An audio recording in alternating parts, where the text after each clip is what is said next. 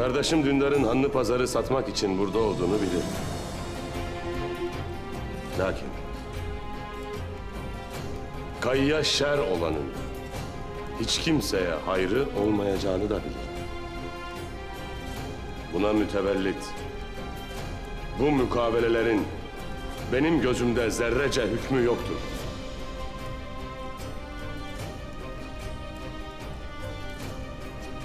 Sen ne dersin Ertuğrul Bey? Dündar Bey mukaveleye kayıların mührünü bastı. Şahitlerin huzurunda Bahadır Bey'in altınları aldı. Elimde kayı mührünün olduğu bu anlaşma olduktan sonra senin de sözlerinin hükmü yoktur. Ertuğrul Bey.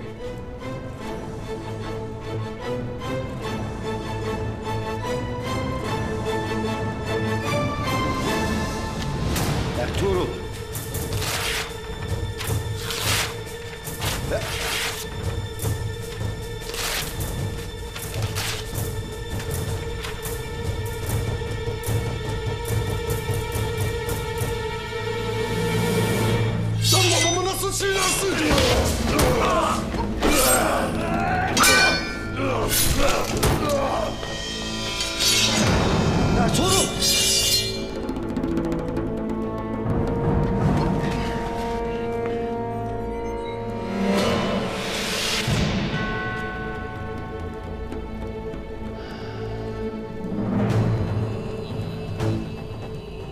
Bu neyin telaşıdır Bahadır Bey? Oğlunla bir olup cesedimden parça koparmak için beklemekten sıkılmış bir halin var.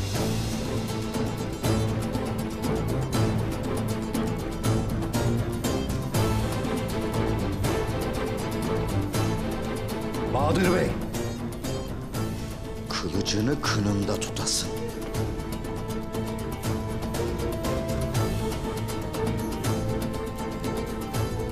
Bu toprakların uç beyi benim. Hanlı pazar benim malımdır. Satmıyorum. Ya hepiniz elime kanınızı bularsınız ya da bana itaat edersiniz. Çavdarların beyi Bahadır kimseye itaat etmez. Ertuğrul Bey. Vaktiyle itaat etmeyen yeğenin Ural'ın yanında sana da bir yer ayırırız o vakit Bahadır Bey.